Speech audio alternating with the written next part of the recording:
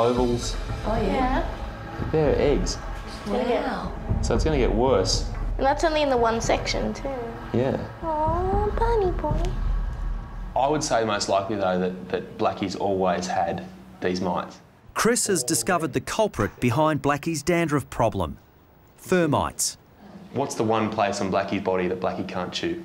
Right in the middle of his back, and that's where they've put it. You can see by that sample there how many eggs there were there. Yeah. So very quickly this could go from being a small problem to being a very big problem. So what we're going to do is actually give Blackie a dog and cat treatment. Rabbit fur mites are different to those found on cats and dogs, but the same treatment can be used for both. But over the next probably 24 hours, that'll spread throughout the skin All right. and, uh, and go all over the body and target these little mites that are here as well. Blackie's problems may be coming to an end, but it seems Chris's are only just beginning. Allergy, is it? Are you allergic to rabbits? Potentially. Mm-hmm. Oh, oops, sorry. It's only some rabbits. Blackie, it's all your fault. How could you? No. that's pretty funny. It's funny, is it? Not funny, but like, sorry. So, It's all right. It's going to be a tough day. It's going to be all right. Thank you. So it's a success. The rabbit's going to be treated. We've identified the cause, but I think I'm now the patient. But hey, the rabbit's okay. They say I already do. Chris is examining Mr. Wilson's severe eye problems. He's got what's called entropion, where he's got so much loose skin, the eyelashes on the end of that eyelid actually roll inwards. Hmm. You see when I let it go, they jump inwards and they sit actually on the eyeball itself. right, It's like yeah. having that eye, and it's like having an eyelash stuck Sandpaper. on your eye the whole time. Good. If that keeps on happening, he will go blind. There's no two ways about it. He'll lose his vision just from that constant irritation. So this needs to be done, it needs to be done early, and they've done exactly the right thing in getting him looked at. What I propose that we do is lift up this eyelid, lift up the bottom eyelid, Yeah. maybe even take a little slice out of the corner, which will actually give his, make his eye a bit bigger mm-hmm. and allow that eyeball of his to, to actually see the world. Giving you a good look. That's mum. It's the first time you've ever seen her. and while we're in there, you don't want any, any other changes to him. Maybe just No. take the rest of the skin No, away. that's what people like about him. You right? sure? We've got a, see, we've got a whole board of dogs over here. Any room for me? I can No, do. get one. I can do.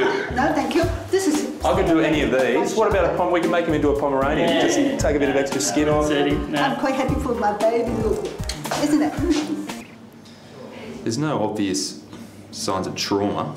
No signs of fractures in those wings. Chris's first patient of the day is a seriously malnourished boobook owl. He hasn't eaten for quite a while and he's been very weak and, and very distressed. So any nutrition you can get into him is going to be very welcome. And as you can see, he's taking it up beautifully. Too weak to catch his own food, this little guy is close to starvation. Give him some fluids underneath his skin. His skin's so incredibly fragile too. He's got to find a spot. Perfectly designed, isn't he? I hope that's a look of thanks. While Chris has done everything he can for the owl, his patient has passed on more than just thanks.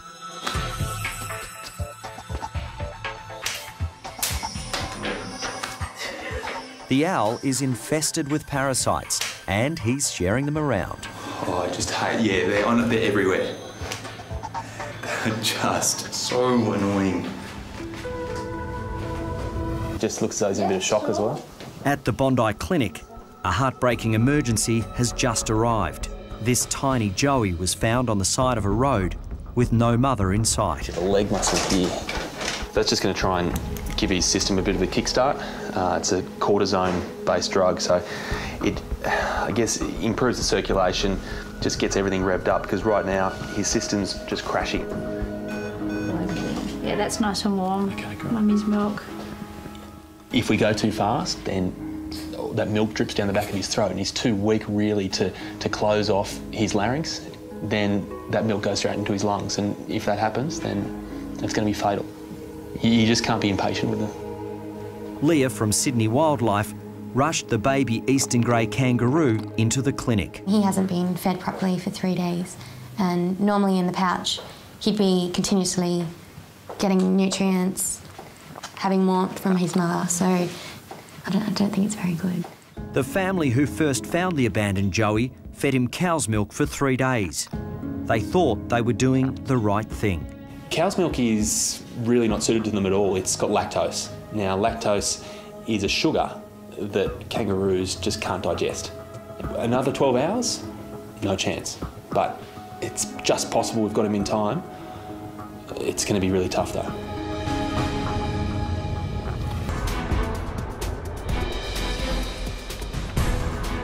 I know he was just acting weird, and then I rang up my brother and said, Do you know what's wrong with him? And he said, Last time that that happened, it was a tick. 17 year old Lucas has arrived at the Bondi Referral Hospital SASH with the family Samoyed. The 11 month old, called Polar, has suddenly lost control of his back legs and can no longer stand. How long ago could he not walk? When did oh, you notice? Probably Oh, about sweet. Three or four hours ago was when I first noticed it. If a paralysis tick has burrowed into Polar, emergency vet Lisa Chimes needs to find the killer parasite fast. Basically, what happens when they're bitten by a tick is that it causes paralysis. So the toxin goes into the bloodstream and it, and it binds at the ends um, where the muscles meet the nerves um, and it paralyses them. So it usually starts at the back legs and it moves up. It's all right, sweetie. I know, I know. It's life-threatening because it can paralyse the breathing muscles, so they won't be able to breathe anymore. And just give him a cuddle in the head. It's okay. It's all right, sweetie. The bewildered Polar has to be transferred to the treatment room. He's got so much hair, and you need to search in all the little orifices around his bum, in his ears, around the mouth. So he's going to need a full haircut to try and find the tick. It's too early to tell exactly how he's going to do. We really are not able to stop the bleeding right now, but we can give her a blood transfusion to support her in the meantime. You just lie down. I'm going to make you feel better. Okay. She's a great little dog, friendly little thing. Hasn't got a bad bone in the body. It's a sad thing, you know. Part of your family. Fight this. Motley's life now depends on finding a fellow canine that can donate the life giving blood she desperately needs. I think your mates actually got rid of you because you're actually annoying. They said leave home and run away. We're sick of you. I'm just looking for any fractures in the shell, um, any injuries to the soft part of him. He looks fine though, he looks in great nick. He's not dehydrated at all. You can see his eyes very, very liquid. There's no sign of, of it being sunken up or anything like that. A lot of people think they just have to live in water and, and as a result, if they find one, they, you know, whacking in a bucket, bucket of water, but it can actually be a bad thing for them because being dry is actually is quite good for them. But they love to migrate. They'll walk huge distances to find new patches of water, new territory, and, and that's where they get into trouble because they, they have to cross roads and that's when they get hit by cars. Yeah, he's ready to go. You've got the right direction too. It is that way. You're good. A five month old Burmese kitten has just been admitted with a mystery illness. Well, Felix was absolutely fine until yesterday, and this morning he didn't eat his breakfast, and he was really down. And he's usually a lively little kitten, and his skin was all dry. And then he started retching and vomiting and diarrhea, and just being really floppy. He's reacting when I'm touching his kidneys.